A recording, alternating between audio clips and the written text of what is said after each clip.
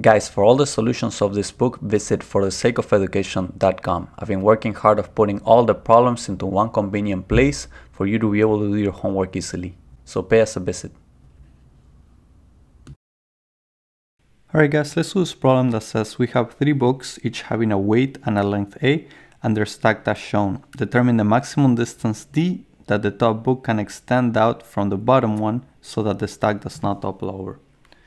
Okay guys, this problem you just gotta think about it a little bit, it's not really that hard. So I'm gonna draw a couple of diagrams that should help you understand it. So let's pretend we have this bottom book, right? We're just gonna do the problem with two books for now you know that you have this weight coming down right at the center and a reaction at A. But if you move this, this is basically at the halfway point. At the halfway point, you know that it's not going to topple over because if you put the weight a little bit towards the right, then that's going to change the moment to go straight to the right. However, if you leave it right at the half, the normal and the weight would kind of like hold each other right there. I knew I drew this a little wrong here, a little longer than I was supposed to, there. So I don't get complaints on the comments. So right at the halfway point is where one on top of the second one will not topple over. But if you look at it with three books and you follow, let's say you say, okay, so at the halfway point, right? So I could kind of do this. No, you can't really do this because, and you have the normal right here, because if you look at this, if you do the sum of the moments around this point, let's call this point, point B.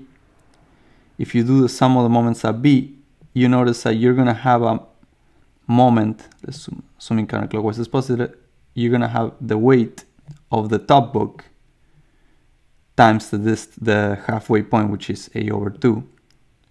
And you have nothing to make up for that. So it can't be, they can't all be at the halfway point. It has to be, you have to arrange them in such a way that it would make up for it. So it would look something like this. This is the bottom book. This is the top book and this is, right? So you have this, you have this weight and you have this normal. And these distances, since the books weight exactly the same, should be the same. So when you do the sum of the moments at B, you're gonna have the weight times that distance, let's call this distance x, the weight times the distance x minus the weight times the distance x from the book in the middle to make up for the moment and that would hold it perfectly still. And this would be the distance d that we're trying to find, and this is the distance a. So this is how the diagram, this is how the diagram should look like.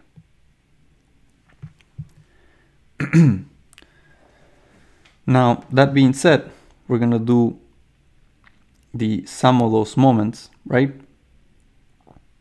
And we know that, let me redraw it. I'm gonna redraw it right here again. we have this weight right here we have this normal right here right and then we have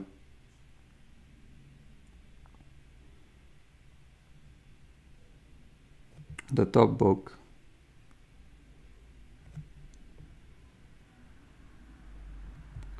Has this way. Right here. So sum of the moments about this point is equal to zero and is equal to the weight times x minus the weight times this distance right here, you know that it's a over 2.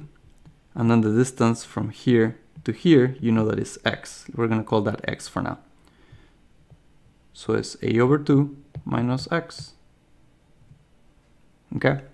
So 0 is equal to the weight x minus the weight times a over 2 plus the weight times x. I just distributed this right here. And you know that the weight you can cancel out because it's in all the terms and there's a zero at the other side. So you basically have that zero is equal to 2x minus a over 2. So if you solve for x, you're going to get that x is equal to a over 4. You know that d, this distance d right here, since I explained on this diagram, is equal to a minus x.